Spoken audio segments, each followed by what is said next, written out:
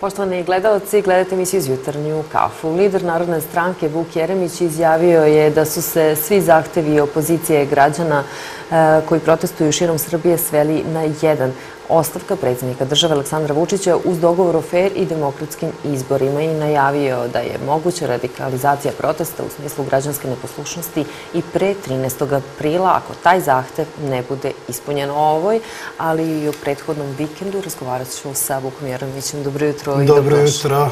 Drago mi je što ste me ponovo pozvali. Hvala vam na tome. Evo, krenuli smo od vašeg intervjua koji ste juče dali radio televiziji Vojvodine. Vojvodine. Dakle, sve se svodi na jedno, na jedan zahtev. Građani i opozicija su složni. Međutim, mnogi smatraju da je taj zahtev možda negde i previše kako bih rekla, nerealan, a to je da Aleksandar Vučić, predsjednik Srbije, podnese ostavku. Pa znate onu misu jednog velikog filozofa 20. Mhm. veka, budimo realni, tražimo nemoguće. Mhm. Šalu na stranu, uh, svi problemi danas u Srbiji zbog kojih su građani na ulicama već više od tri meseca, uh, svi oni se svode na jednu tačku, ima i jednu adresu, a ta adresa je Andriće Venac, predsjedništvo Srbije. I naravno ima uh, puno toga što je u ovoj zemlji pogrešno, ali sve od tih pogrešnih stvari, od pravosuđa, do ekonomske situacije, do diplomatije, do sudskih izvršitelja, do apsolutno svega što dotaknete, sve polazi iz jednog centra moći zbog toga što je danas u Srbiji moć preraspodeljena tako da je samo u jednoj tački. A to je kod predsjednika Srpske napredne stranke Aleksandra Vučića. To ne može biti normalno. Ne postoji e, ni jedno prosperitetno društvo u kome je uspostavljen faraonski tip vladavine.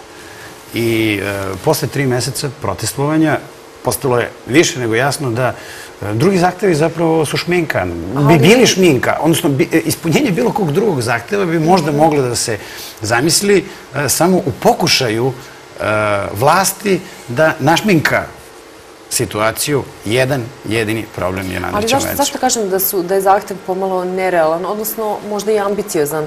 Zato što za ova tri meseca predsjednik Srbije upravo govori da ne želi da ode i da ne želi da razgovara ni sa opozicijom. Sada je promenio iskaz pa kaže da će možda razgovarati e, sa građanima o RTS-u i o tome ćemo pričati i tako dalje i tako dalje, ali e, zar nam e, ponašanje i izjave predsjednika Srbije ne govore upravo to, a to je neću tići sa vlasti. Pa znate kako bi to naš narod rekao, neće ni čuran na svadbu. Ali na kraju završi na svadbi. Mm -hmm. uh, Vučić je davno izgubio legitimitet, ali mislim da je to danas mm -hmm. očigledno sve većem i većem, sada već i kritično velikom broju ljudi. Uh, ne možete odbijati dijalog sa građanima koji su vas izabrali, ne možete ih ignorisati, ne možete ih vređati, ne možete ih ponižavati, sve to Aleksandar Vučić eh, radi već eh, nedeljama i mesecima, je sad u poslednje vreme je eh, počeo po mom dubokom uverenju malo i da gubi kontrolu nad sobom pre svega, a i nad situacijom. Počeo da govori stvari zbog kojih bi svakog gledajućega sa strane neutralno gledajući sa strane, mora da se zabrine. Ja sam juče imao sastanak sa jednom visokom evropskom delegacijom Evropskog savjeta za spoljne poslove. Oni su se sa mnom i sa gospodinom Đilasom videli neposredno nakon sastanka sa Aleksandrom Vučićem. I jedna od prvih stvari koje su nas pitali je da li je istina da vi kontrolišete, gospodo iz opozicije, radio televiziju Srbije? I ja nisam, na početku sam prvo mislio da ih nisam najbolje razumeo. I kažem, šta tačno mislite? Kaže, pa e, pričali smo sa Aleksandrom Vučićem pre nekoliko sati o slobodi medije u Srbiji. On je rekao da je potpuna laž da nema e, da nema slobode medije u Srbiji i za primjer nam je dao, evo, pogledajte, opozicija kontroliša RTS. Na čelu RTS-a se nalaze ljudi, e, Bujošević i Nenad Stefanović, koje su postavili ovi koji su danas opozicija kada su bili na vlasti. Ja kažem, ljudi, da, da li vi znate šta vam je on rekao? To su bili inače stručnjaci za Balkan, tako da su oni shvatili da ih Aleksandar Vučić laže. Ako kaže evropljanima koji prate situaciju u Srbiji, čiji je posao da prate situaciju u Srbiji, da opozicija kontroliše RTS, onda e, znači da se pogubio. Jer automatski, pošto ovi znaju da je to laž, i sve ostalo što im je rekao, oni mu nisu poverovali. Dakle, međunarodni sagovornici počinju, e, i to je sve više njih, e, da gube poverenje i da počinju drugačije malo da se gledavaju ono što ima kod nas, ono što se dešava kod nas. A dok ne prestane međunarodna podrška, pre svega zapadna podrška, Aleksandru Vučiću, koja je prethodnih nekoliko godina, da budemo potpuno iskreni, bila dosta čvrsta. Dok ne prestane podrška s polja, bit će jako teško napraviti promene iznutra. E, ne dolaze promene s polja, ne nameću se promene s polja, ali s polja one se mogu zaustaviti. I zbog toga je Savez za Srbiju i ja kao predsjedavajući Saveza za Srbiju za mesec februar e, smo pokrenuli jednu e, široku diplomatsku akciju koja i dalje traje, a to je da prosto upoznamo međunarodnu zajednicu sa svim što se trenutno dešava u Srbiji. Samo ta kombinacija unutrašnje energije, bunta, spremnosti na pružanje otpora i diplomatskog angažovanja sa okruženjem i sa svetom može dovesti do onoga što je naš cilj, a to je mirne promene u Srbiji koje bi vodile ne samo promeni vlasti, što je vrlo važno, već promeni sistema. Nama ne treba da umesto Vučića na njegovo mesto dođe neko drugi koji bi se ponašao isto. Do duše, ne verujem da bi iko mogao da se ponaša isto, jer je on jedan ovako eklatantan primer uh, čoveka koji uh, kada prigrabi vlast zloupotrebi je na svaki mogući način. Dakle, niko ne bi bio isti, ali samo promjena umesto Vučića da dođe neko drugi, to ne bi bilo dovoljno dobro. Nama je potrebna suštinska promjena sistema i ona mora da se desi iz nekoliko koraka. Ali prvi korak, bez koga nema ni jednog drugog koraka ka promjeni sistema u Srbiji, je smena Aleksandra Vučića i zato mislim da je dobro da se pojednostave zahtevi, da se svedu na jedno, da se taj korov iz, čupa iz korena i da počnemo da zajedničkim naporima gradimo jednu drugačiju Srbiju, drugačiji sistem, drugačije društvo iz koga ljudi ne bi glavom bez obzira odlazili uh, prvi put kada je dođe u takvu priliku. E, predsjednik Srbije je izjavio da će razgovarati sa građanima o radioteleviziji Srbije. Da li samim tim on kaže da radiotelevizija, dakle priznaje da radiotelevizija Srbije nije servis svih građana? On uveče kaže da neće da razgovara, ujutru kaže da će da razgovara, do popodne se uh, predomisli pa zatreži specijalnu novu emisiju dva sata na Pinku, gde na početku kaže da hoće, a na kraju te iste emisije kaže da neće. On, je jako nestabilna ličnost. I ovo za njega e, predstavlja preveliki pritisak. On, ako ste videli njegovu poslednju konferenciju za štampu koju je vodio dok e, su građani bili svuda oko predsedništva, on se znojio, zamuckivao. Ako sa psihološke strane posmatrate, tu sliku, vidjet ćete jednog čovjeka koji je svakim danom sve više nesiguran u sebe. I zato pravite uh, drastične promjene u raspoloženju i odlučivanju. I to se videlo recimo u kontekstu onoga što je sve izricao vezano za ovo što se dešavalo oko RTS. Nakon što su još tu noć E, neki od ljudi koji su ušli u RTS bili privedeni i pušteni. On izašao i rekao e, svi će odgovarati. Na to sud, na to organi momentalno dođu i pohapse. One koji su inače pustili na slobodu. Pa onda on dan kasnije kaže e, treba ih abolirati i uputi dopis, koliko je meni poznato, bar tako javljaju mediji koji su mu naklonjeni. Uputi dopis u kome traži od organa da aboliraju one koji su u prvostepenom postupku osudili. Dakle, to nema nigde. On traži sudu da presudi ovako ili onako, a ne da iskoristi svoje zakonsko ovlašćenje da on abolira one koji su osuđeni. Što mislim da bi inače trebalo da uradi. To smo od njega na kraju krajeva juče na konferenciji za štampu kao lideri Saveza za Srbiju i zatražili. Ali ne, on nije u stanju da uh, izgovori ispunit ću zahtev opozicije, a nema druge nego da ga ispuni, jer kako da objasni da oni mladi ljudi budu osuđeni za ulazak na televiziju, a da u isto vreme nema hrabrosti da uhapsi i osudi one koji su ih u zgradu televizije uveli, a to su opozicijoni lideri. Dakle, kako oni koji su pratili lidere opozicije da budu ekspresno strpani u padinsku skelu, a da one koji su ih vodili ne osudite. Dakle, nakon što je to shvatio, onda kaže, čekaj, ja moram da ih aboliram, moram da ispunim ovaj zahtev.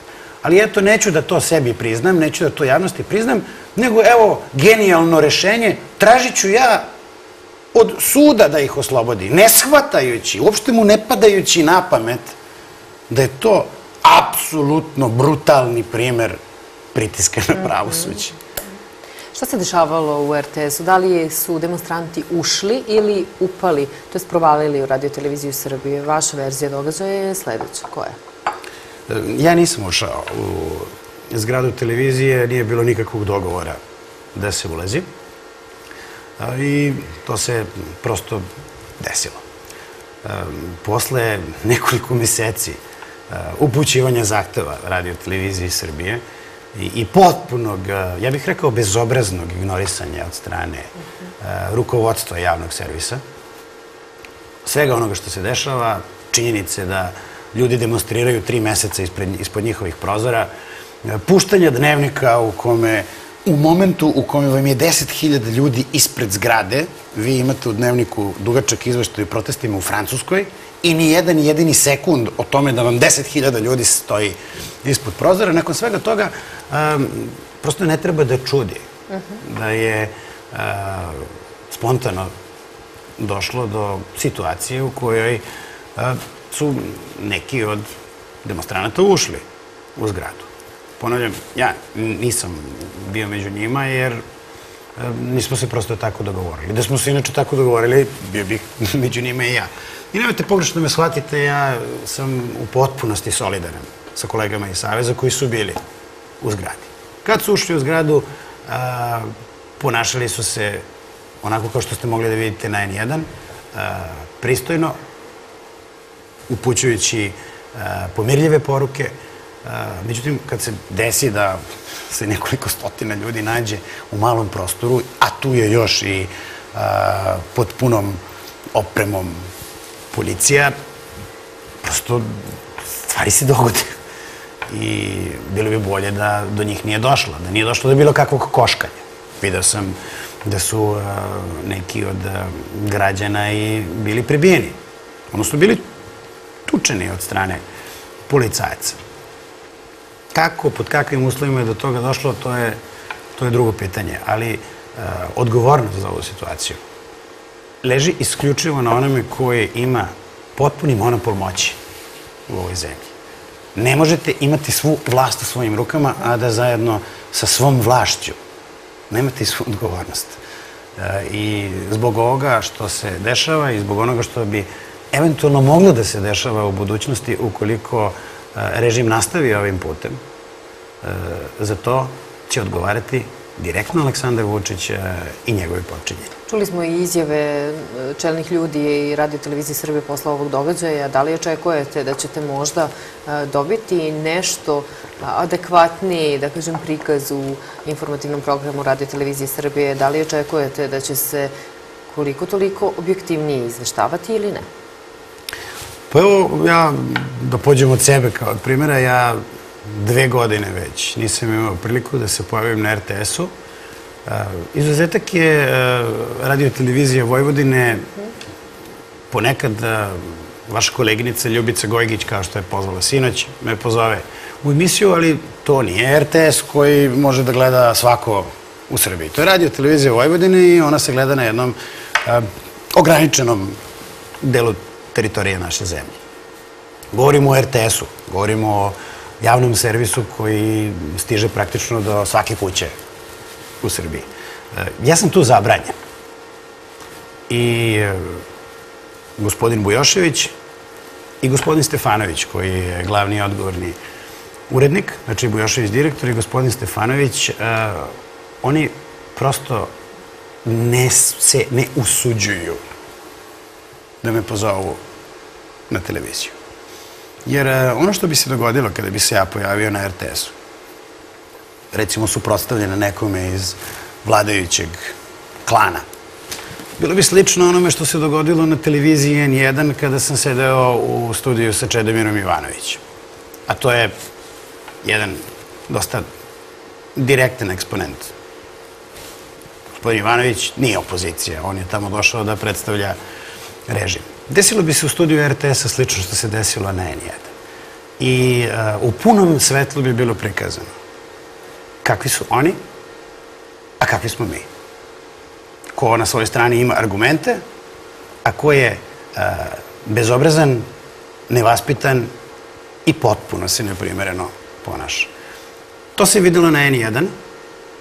To je, taj snimak je postao prilično viralan. Pogledalo ga je posle toga na YouTube-u nekoliko stotina hiljada ljudi, ali je to i dalje jedan red veličine manje od onoga što bi se dogodilo ukoliko bi se ja pojavio na RTS-u.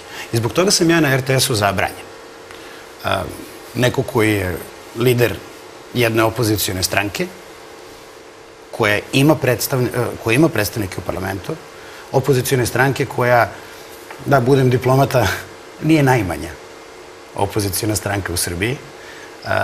Što više, opozicijona stranka koja ima najveći broj odbora širom Srbije. Imamo odbore u preko 100 opština i gradova u Srbiji. Time mislim da ne može da se ovoga trenutka pohvali ni jedna druga politička organizacija. Dakle, lider takve stranke, čovjek koji, s kojim se možete ili ne morate slagati, kao i naravno sa svim drugima, koji, ja sam bio i ministar, bio sam predsjednik Generalne skupštine Ujedinjenih nacija, umalo sam kao kandidat Srbije postao generalni sekretar UN-a, meni je dve godine zabranjen pristup tamo.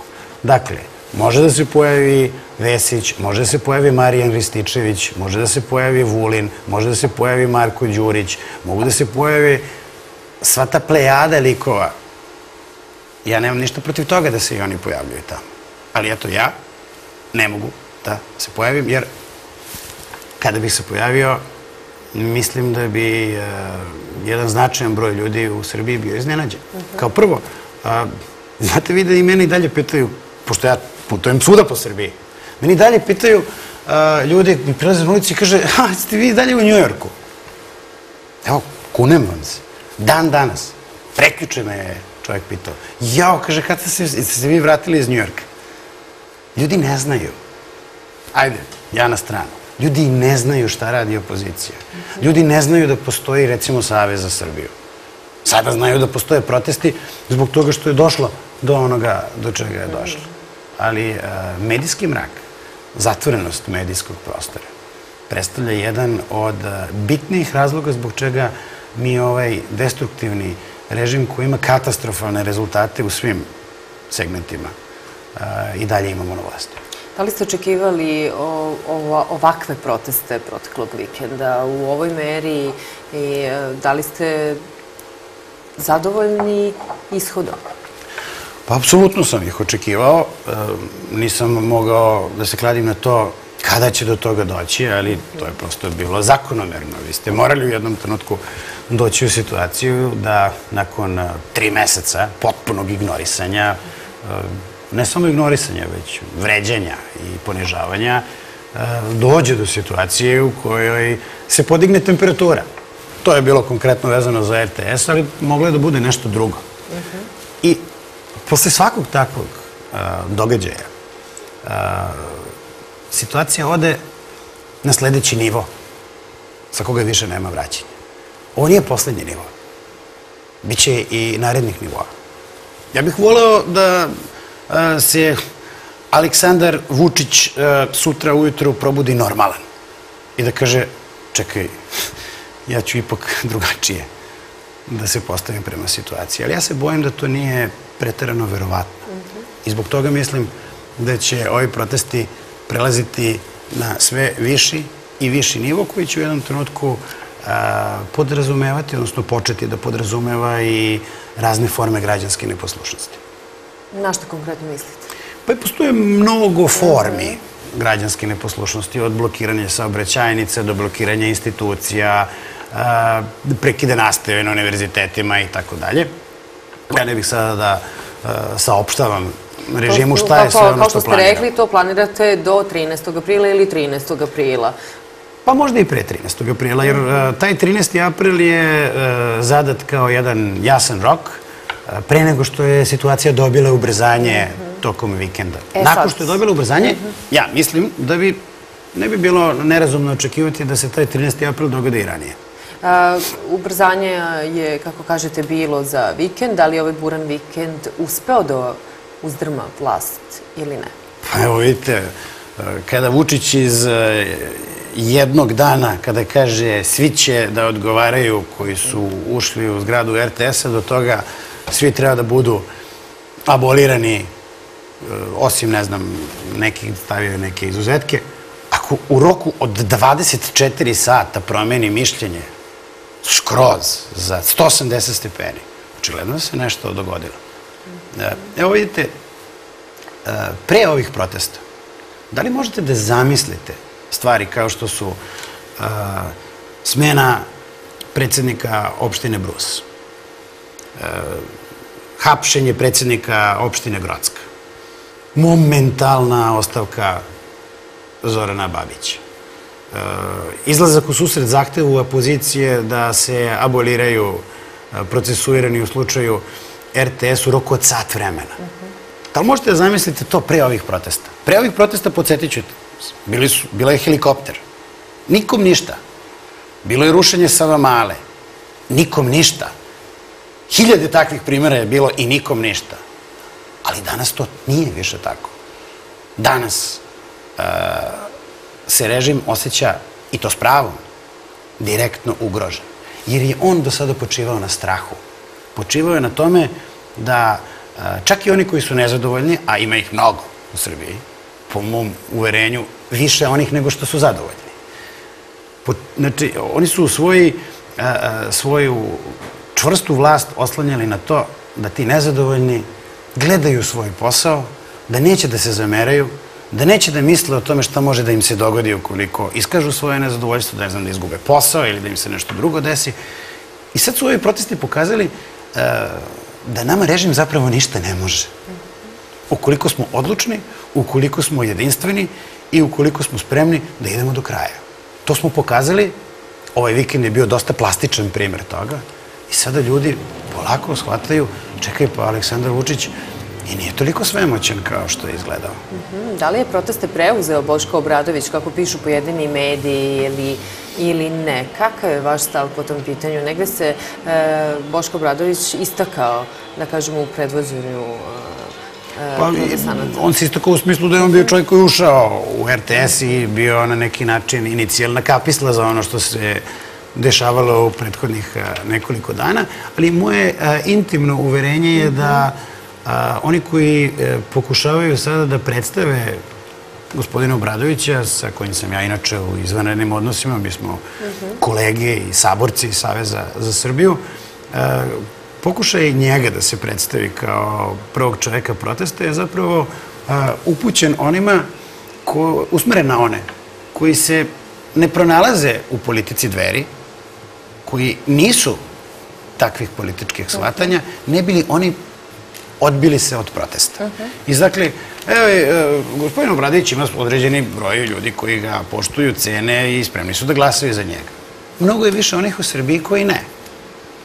I sada, te koji nisu zastupnici takve njegove, takve politike, ovo je u stvari pokušaj da se oni sklone sa protesta. I zato mislim da to nije naročito dobronamerna interpretacija, ali to je moje mišljenje.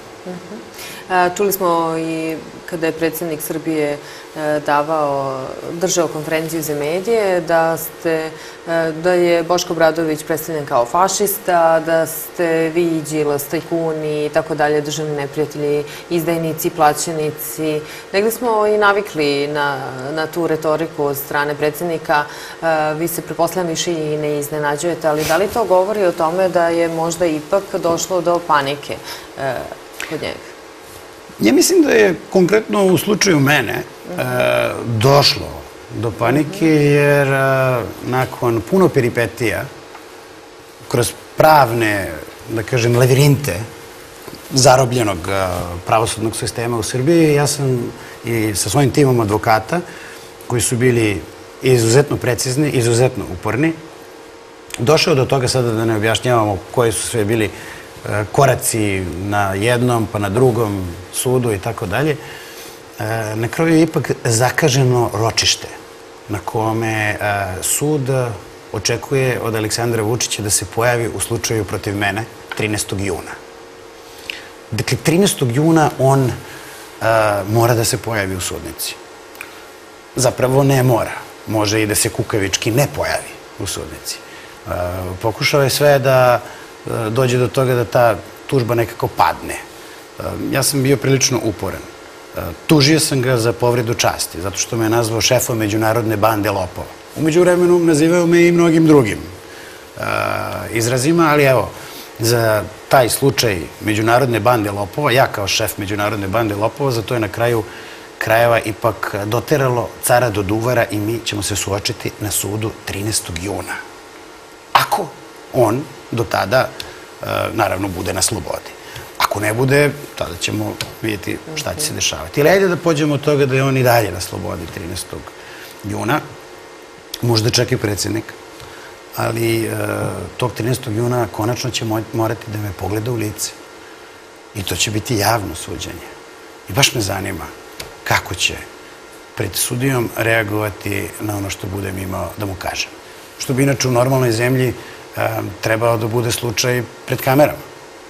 Ali on ne, nije izašao, nije se usudio da izađe pred kamere televizije ni sa jednim čovekom koji ne deli njegove mišljenje, evo već ima šest ili sedam godina. Ja ću biti prvi, do duše ne u studiju televizije, ali na suđenju. I jako se radujem tom suđenju. Prilog tome, e, takođe neretko ste i pričali smo o tome na naslovnim stranama pojedinih tabloida, najnovije da nosite sat od 15.000 evra, uslikani ste na protestu, navodno sa slikom tog sata. Moram da vas pitam koji sat nosite, koliko košta i da li je to bitno ili presudno za proteste koji su se dešavali u Beogradu? Pa mislim da je to još jedan pokušaj skretanja pažnje sa onoga što se zapravo dešava. Ja sad koji nosim, to je inače ovaj sad koji ga imam na ruci, možete ga vidjeti na naslovnoj strani Informera. Nemamo Informer da prikažemo, žao mi, ali eto... To je sad Tag Heuer, on vredi nekoliko stotina evra, a inače ja sam taj sat stavio na ruku na dan kada mi je umro otac, pošto je moj otac taj sat nosio. Dakle, 2015. godine kada mi se otac upokojio, ja sam sa njegove ruke ga skinuo i stavio na svoju i, i nosit ću ga. Dok budem živ, to je moj plan. On košta nekoliko stotina evra, a, a gospoda iz informera o njima nemam šta da kažem, oni će dobiti zbog ovoga još jednu tužbu. Ima mnogo tužbe protiv informera to je jedan od e, simbola kulturoloških i svih drugih simbola ove vlasti. Vučić je informer. Informer je Vučić. Ono u čemu živimo danas, okolnosti u kojima živimo danas, za njih je dobrim delom kriv informer, odnosno Vučić, pošto to praktično ne može čovjek da pojmovno razdvoji. Ima i drugih takvih simbola. Simboli su Pink, simboli su Vesić, simboli su Marijan Rističević.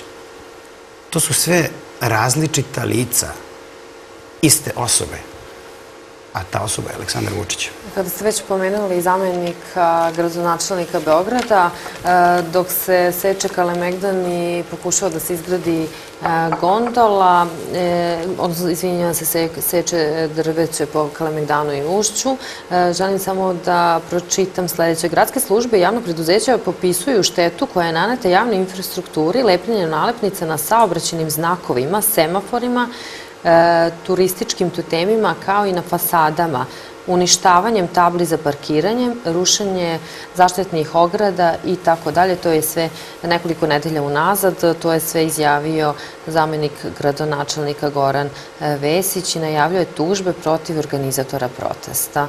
Da li mislite da ste uništili grad time što ste lepili plakate po semaforima, saobraćenim znakovima ili stvarno ne znam šta da kažem na, takvu, na, na takvu, takvu jednu konstataciju.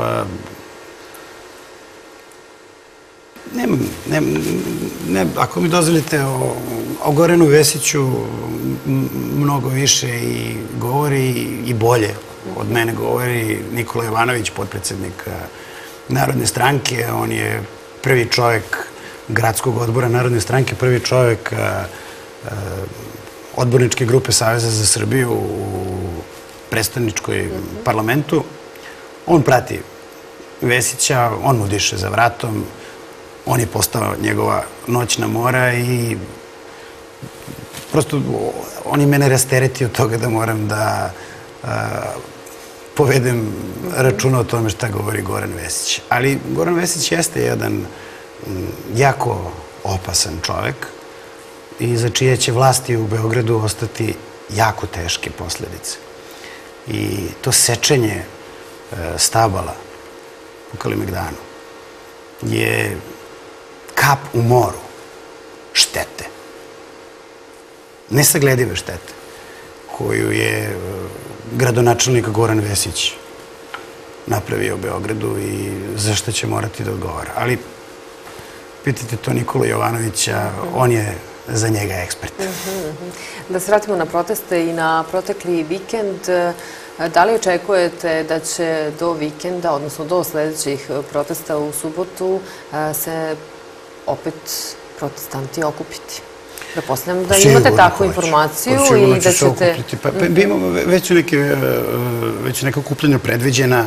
Jedno je okupljanje na Kalemegdanu, baš zbog tih isečenih stabala, drugo je okupljanje u Grodskoj, zato što još uvek nije konstatovana ostavka predsednika opštine Grocka, to još uvek nije zvanično, on je u formalnom smislu i dalje predsednik opštine.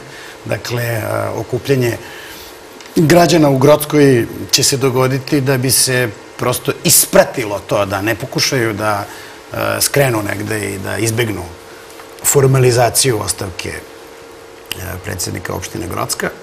A onda u subotu je ponovo veliki protest, kao i svake subote, s tim što će ovaj, ovaj put biti malo drugačiji nego što je bio do sada. U kom smislu? Zbog toga što to je vikend kada se kao narod, kao zemlja sa velikim bolom sećamo agresije koja je pre mhm, tačno 20 godina izvršena nad Srbijom i ti protesti 23 zapravo taj vikend kada, kada obeležavamo tu neslavnu godišnjicu, e, će biti nešto drugačiji, bit će dostojanstveniji, bit će mirniji, e, onako kao što to toj, toj prilici i kao, kao što to u toj prilici treba da bude.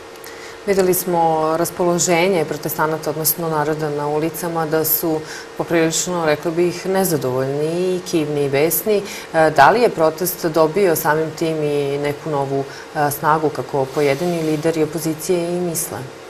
Svakako je. Kao što sam rekao, mislim da protest samo prelazi sa jednog na drugi i to sve viši i viši nivo i da bi jedna vrsta kulminacije tog protesta trebalo da bude dan kada će svi oni koji protestuju u Srbiji, a danas ima oko 100 gradova e, gde se protestuju u Srbiji, kada će svi biti pozvani da dođu u Beograd. Za sada je taj datum i dalje 13. april, ali e, dozvoljava mogućnost, mislim da je šta više i prilično verovatna, da to se dogodi ranije. I vi ste govorili takođe u nedelju. E, Da, imao sam priliku po prvi put da govorim u nedelju. Pozvali su me da se popnem na kamion i drago mi je što čini mi se da je jedan značajan broj okupljenih e, se složio sa onim što sam tom prilikom rekao. Da li to znači da već e, ovih narednih e, subota možemo očekivati da nam se i obraćaju lideri Saveza za Srbiju? Pa obratili su se već. Da, već su se obratili, ali i mislim, da, dalje. ja mislim da, više, da, da su se praktično to- svi lideri Saveza za Srbiju obratili, što u Beogradu, što na nekim drugim mestima i to je prosto normalno. Ovo su građanski protesti koji podrazumevaju i opozicijone stranke, dakle, predstavnici e, sindikata, javne ličnosti, e, profesori, studenti, zdravstveni radnici, svi su se obraćali, zašto se ne bi obraćali lideri opozicije? Mi smo svi građani kao, kao i oni i mislim da je ta stvar stavljena malo ad acta. Nekada je bilo pitanje da li treba ili ne treba da se obraćaju e, politički prvaci, odnosno predstavnici opozicije, počeli su se obraćaju, e, nije to donelo bilo kakve, da kažem, negativne posledice kao što se spekulisalo da bi moglo. I to sad naravno ne znači da će samo opozicioni lideri govoriti. Apsolutno ne.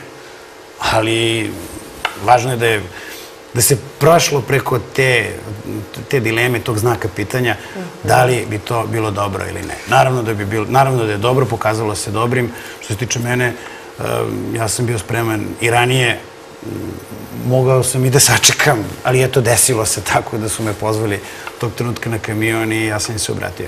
E, Da li očekujete da će doći do možda nekih, odnosno kako sprečiti neke neželjene e, događaje e, tipa unošenje testere na radio televiziji Srbije, kao što ste sami rekli, da se ne slažete sa, e, sa tim činom.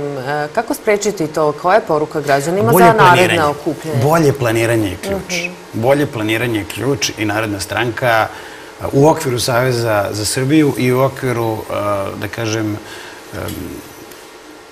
šireg organizacionog uh, odbora. Ne, ono ne postoji kao takav, a postoji prosto kao jedna vrsta um, višesmerne konsultacije u kojem učestvujemo.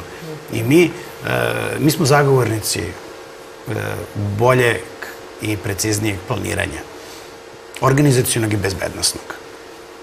I takođe smatramo da bi a, da je ovo dobra prilika da se e, protest osveži i u smislu e, artikulisanja kreativne poruke. I moje uverenje je da bi značajan doprinos tome mogli da daju one koji su a, protest već podržali, na protestima i govorili, izuzetno ugledni ljudi, izuzetno ugledne javne ličnosti, među kojima su i Siniša Kovačević, e, i Nikola Kojo, i akademik Teodorović, Bane Trifunović, koji je e, na početku protesta bio izuzetno eksponiran, tome dao zapravo, da, da, dao veliki doprinos tome da se stvori momentum. Ja verujem da su sve to ljudi koji bi a, mogli svojim a, znanjem, umećem da značajno pomognu u ovom novom, da kažem, u ovoj novoj epizodi protesta. Naravno, m, oni su već napravili ogroman doprinos, ali verujem da bi mogli da, da nam pomognu. Mi ćemo svakako podržati e, i oberučke prihvatiti svaki savet koji od njih budemo dobili. Da li u novim epizodama protesta, kako već e, to kažete, očekujete i više policije na ulici i samim tim prepostavljam da ćete i biti, kao što kažete, organizovani i sa možda više redara, da ne dođe do nekih ekscesa. To da će biti više policije ili ne, zavisi od toga e, kako će se Aleksandar Vučić probuditi i sa koliko agresije će saopštiti poruku za taj dan ministru Stefanoviću. E, Da će se drati na njega minut, dva ili tri. A, Nije, nije bio pretarano, da kažem, uzbuđen na dan kada su demonstranti ušli u RTS, tako da Stefanović nije adekvatno taj dan obezbedio RTS.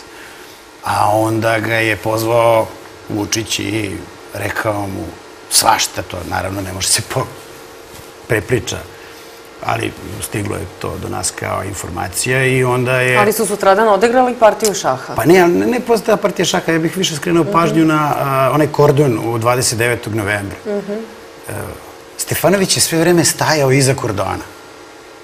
Dakle, potpuno izbezumljen. Mi smo ga gledali, on je bio na 10 metara. Ja sam bio u prvom redu ispred e, policijskog kordona, znači gledali smo se preko štita. Stefanović je stajao 10 metara iza i mi smo ga pozvali da dođe, da razgovara s nama. Tu su bile i roditelji uh, ovih dečaka koji su tog trenutka bili u pritvoru. Uh, on je stajao tamo izbezumljen zato što mu je Vučić naredio nakon noći kada nije adekvatno obezbedio RTS da se ne šali glavom i da ovaj put lično nadzire sve što se dešava. On je to bukvalno shvatio, izašao napolje na ulicu i stajao iza policajaca. E, to neko normalan ne bi uradio.